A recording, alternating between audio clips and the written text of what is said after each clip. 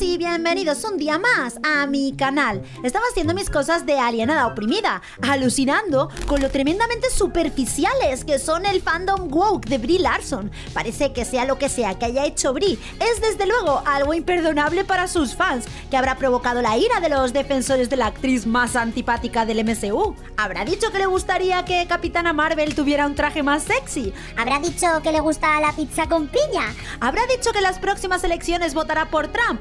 No, lo que ha hecho es muchísimo peor que todo lo anterior. En la cabecita loca de un progre, claro. Lo que ha hecho es algo tan grave, pero tan, tan grave que no lo creerás. ¿Estás listo? Pues adelante con la intro.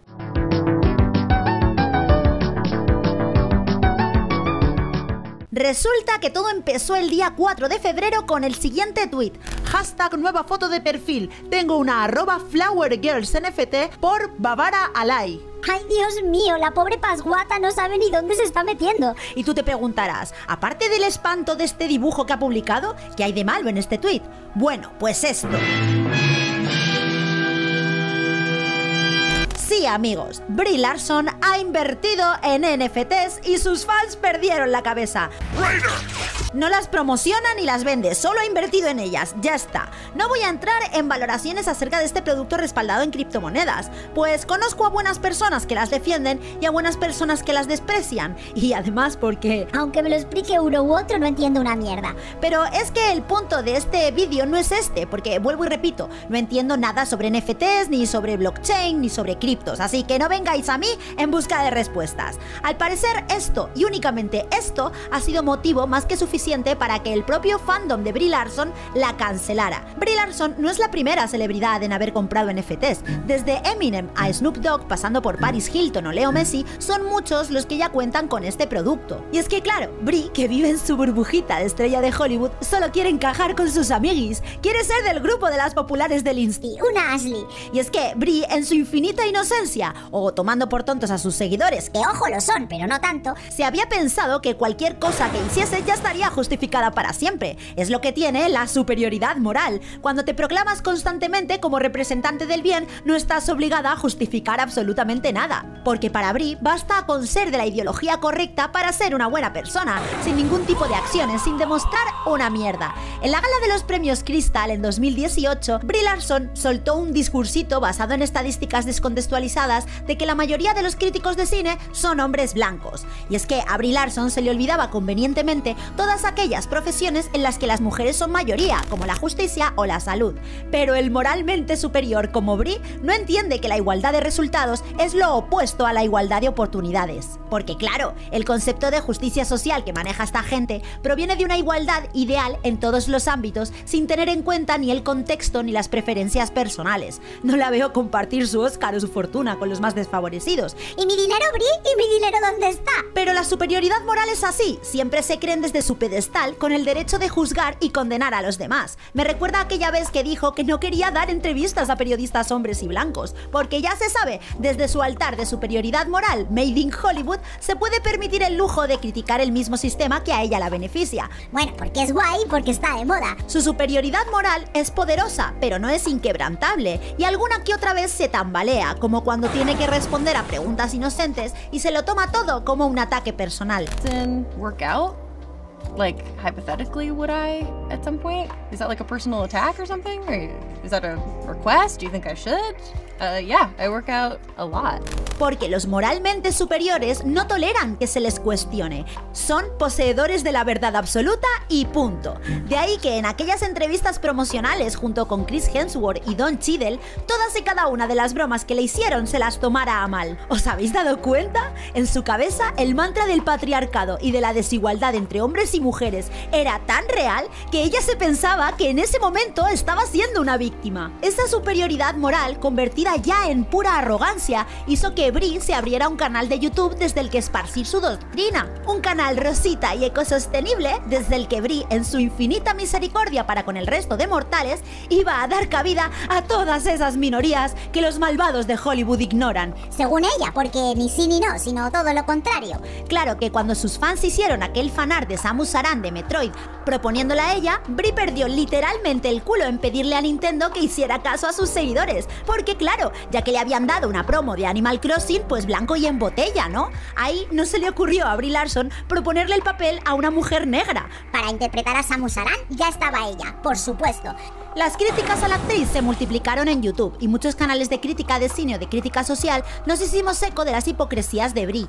Y también señalábamos la hipocresía de la actriz al hacer activismo político en redes sociales para luego olvidarse de ese activismo cuando tiene la más mínima oportunidad de aplicarlo. Es por eso que el pasado verano una cuenta fan de Brie hizo este meme, el cual fue debidamente modificado para la comunidad hispana poniéndome entre otros a mí. ¡Qué honor! Que ojo, me hizo mucha gracia y esta fue mi respuesta. Sí soy. Porque si para esta gente criticar la hipocresía, el cinismo y la superioridad moral de la izquierda caviar es racismo y sexismo, pues bienvenido sea. Cuando basas tu contenido en redes sociales en enfatizar lo inmensamente superior de tu moralidad, tus seguidores también absorben eso y hacen memes como estos. Estos seguidores son personas que se sienten seguras con los dogmas y las certezas absolutas que vende el moralmente superior. Hasta que el moralmente superior agrieta el espejo distorsionado que ha mostrado sobre sí mismo. Y este es el momento en el que nos encontramos ahora. Es entonces cuando esos acérrimos seguidores se dan cuenta de que Brie no es ese ser de luz que ellos idolatraban. Les ha costado, pero lo han conseguido. Y de repente se percatan por el detalle más nimio, más tonto y más pueril que Brie es y siempre fue una estrella del establishment que repite y vende lo que el establishment le pide. Y entonces llega la decepción. Decepcionante. Esto apesta. La amistad terminó con Brie. ¿Qué miseria? Ya no se puede confiar en nadie. No, Bri, tú no, por favor. Esto es una pesadilla. No, Bri, no, tú también. De todas las personas del mundo que podían apoyar los NFT, va y lo apoya Brie. Hoy es un día triste. Se nos ha caído una grande. Me siento traicionada. Algo murió dentro de mí. Vaya puta decepción, hermano. Y después, la cancelación. Ahora no hay cómo defender a esta mujer. Repórtenle la cuenta. Pues nada, ya me cae mal Brie Larson. Adivinen a quién hay que cancelar hoy. Y el odio. Olviden todas las veces que defendí a Brie Larson. Tienen todo el derecho del mundo a odiarla. Ahora sí que tenéis una razón válida para odiarla. Los de pueblo ya supimos cuando se fue a hacer como recoge aceitunas a un retiro pijo que no era de fiar. Ja, sí, es verdad, que por muy maja que sea Brie Larson no deja de ser una multimillonaria. Demonios. Yo creía en vos, Brie Larson. Aunque todos te odiaban, a mí me callas bien. Pero ¿sabes qué? Andate a cagar. Punto. Aquí tienes este NFT gratis. Vale, me uno a los que la quieren fuera del MCU. Al menos esto sí es una razón legítima para odiar a Brie Larson. Bueno, pues ahora yo también soy hater de Brie Larson. Me encanta lo fácil que es saber si alguien es bien o trozo de mierda antes de que lo revelen tan públicamente. Brie Larson es nazi. Hacen la voz. Putos ricos, de verdad. Te odio. Si habéis visto la serie de Juego de Tronos, sabéis cómo fue la muerte de Ramsay Bolton, a manos de sus perros de presa, a los que él había educado para ser violentos y atacar. A Brie no le importó rodearse de minions radicales que le bailaban el agua con todo y construyó su fandom con los componentes más tóxicos de la sociedad. Y esto le fue bien, porque eran útiles a sus intereses, no la contradecían y podía emplearlos para difundir su discurso identitario. En otras circunstancias defendería que cada uno es libre de comprar lo que quiera, porque recordemos que ella ni siquiera ha hecho su propia NFT para venderla a terceros, como sí han hecho otros artistas. Pero el problema de rodearse de llorones a lo que todo les ofende es ese mismo, que todo les ofende, y que a la mínima pueden pasar de no cuestionarte a destruirte, que es lo que está pasando aquí. Así que Brie Bolton, ahí está tu karma.